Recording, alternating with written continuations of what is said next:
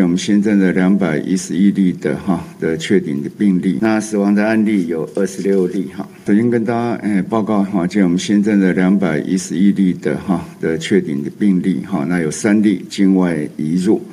那这里面以哈新北市八十二例，台北市六十例，苗栗县四十五例，彰化县八例，那其余新竹市、桃园市、澎湖县、基隆市各三例，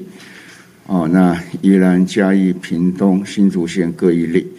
哦，那看起来哈，今天跟大家报告的案例是比较少，好，不过也不排除在哈礼拜天、礼拜六哈相关的一个筛检的数目是不是比较低，好，也不排除这样的一个可能，好，不过今天的案例就是两百一十一例，好的确定的哈本土的案例，